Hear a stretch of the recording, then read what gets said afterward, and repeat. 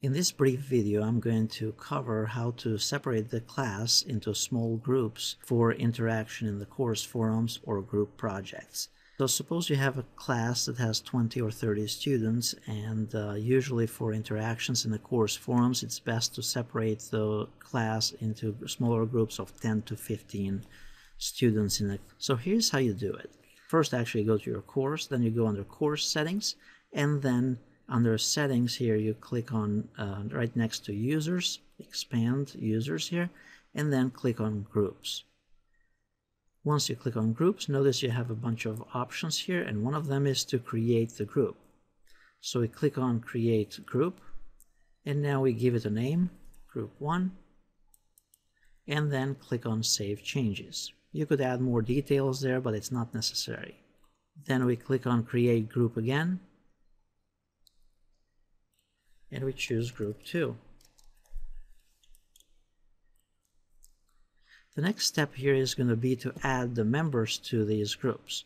So then we click on the group 1 here on the left and then choose add remove users. Here I have just a bunch of uh, test users, but you could have a longer list here. So this is a student list. Now we are gonna, you can hold down the shift key and select a whole bunch of them at the same time or you could add them one by one or if you can do it also randomly by holding down the control key and then picking various other users. So personally, I'll probably split the course uh, alphabetically, half on one group, the other half on the other one, but it depends what your needs are. So now we choose a bunch of them, held down the shift key and clicked the next one where I wanted to stop, click on add and then group 1 has been configured. Then we go back to groups here and we go to group number 2. Under group number 2 we click on add remove users and then pick the rest of the users that you want to add to this group. Now at this point you're done with um, adding the or separating the class into groups. This is the definition or how you're dividing the class for all assignments throughout the semester. So now we go back to the class or to our course and now we create an assignment and in our case the assignment will be for example a forum. So we click on turn editing on and let's say for topic 1 here I want to add a forum discussion. So under activities, we click on forum and then click on add. We give it a name. So you basically configure the forum just like you do it, except for one setting that I'll show in a moment. Then we scroll down here. Usually, by the way, the subscription mode, you want to do that for subscription. In that way, everyone in the course has been subscribed to that forum. We can specify also the grade, what category it falls under. So if you have uh, discussions or something like that in your course that you have already configured, you choose it here. And then under the aggregate type, depends on how you're doing this, but uh, the common uh, setting here would be the average of ratings. And then here we have one of the scales. So for here at Cairn, we are using the satisfactory, outstanding, and so on. There are a couple options here. You can pick one of them it's basically you're using this to evaluate and rate each response from the students.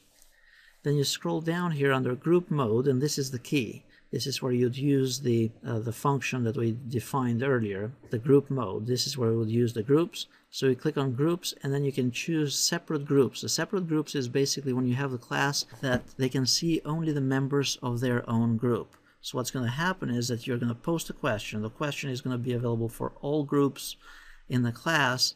However, once the students start responding, only the members of that group, of their own group, they'll be able to see what's going on within their group. And so we choose separate groups and then leave the rest alone here.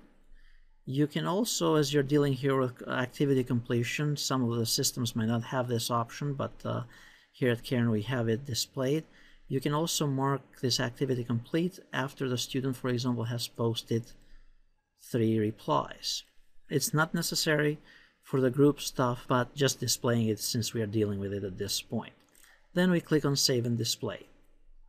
So this then has been defined, and then later what you'd do is basically uh, you'd post a question right here or in the description, and then the students will see only the interactions within their group.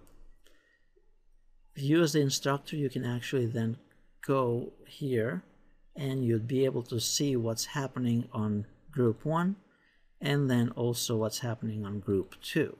So that's how you'd evaluate the actual groups. So that's it. Hopefully this makes sense on how to separate the class into uh, different groups, assign the members to a group, and then create a forum and configure the forum for separate groups. Same thing can be done also for assignments. So for example, I have here a five-page assignment. If you go under Update here, and you scroll down here under Group Mode, you have the same setting. So it works very similarly for assignments as well.